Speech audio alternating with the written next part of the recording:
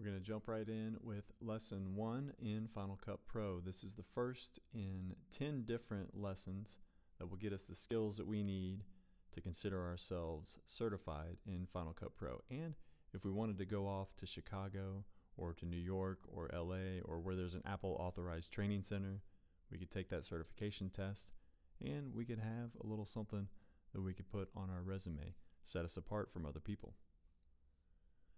So in this particular lesson, it's quick, it's short, it's not too difficult. We're going to download and prepare lesson media files. That's easy enough.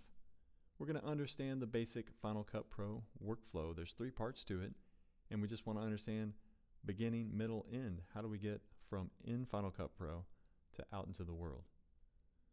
Well, before we import that media, we do want to talk just a second about what Final Cut Pro expects in terms of the quality of your hard disk. Now, I know this is a little bit of a professional level information, but we're going to talk about it for just a second.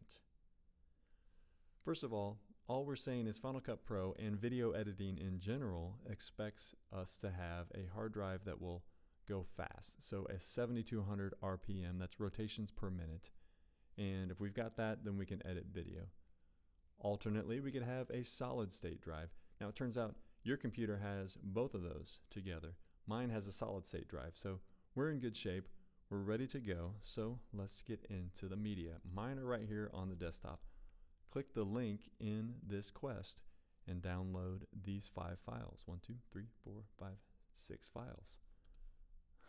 there you go. Um, you're going to find them in your downloads folder.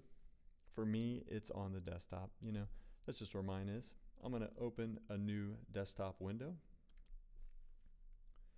and I'm going to make a new folder. I can either right click and make a new folder, I can go File, New Folder, or I can hit the keyboard shortcut Command Shift N.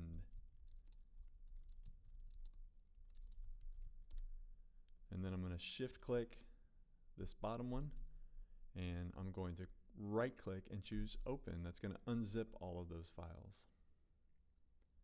So I'm going to have four folders.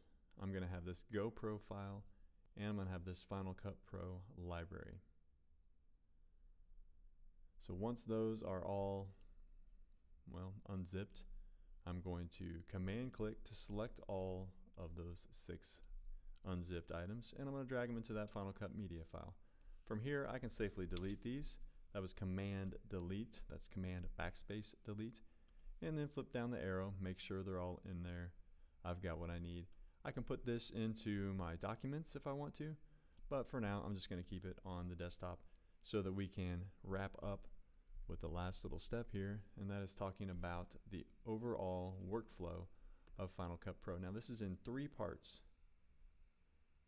Really simple. Part number one is the import phase. So we've already done some of this. We start over here in the browser. We start with bringing that footage into Final Cut Pro. That's the import phase. We got to know all we can know about this. We got to know what these settings mean. We got to know the type of media we're dealing with. We got to know what type of video that Final Cut Pro is going to convert that to in the background. That's step number one. Step number two is the editing phase. That's where we get down here and we make all of the cuts. That's where we make a secondary level, uh, uh, storyline like this, excuse me. Uh, that's where we add our music. That's where we mix it in. That's where we give all of our clips different uh, roles like this. So you see these clips are multicolored. That's where we learn about what these little icons right here mean so we can use auditions. Okay, that's the editing phase. Transitions, all that stuff. And then lastly, how do we get this out into the world? This is the share phase, the publishing phase. That's the final step. And that's the one, two, three. That's all this is about. Final Cut Pro overview. Get the media, get it set, ready to go. And now we understand we got import, we got edit, and we got publish. So those are all of lesson one tidbits.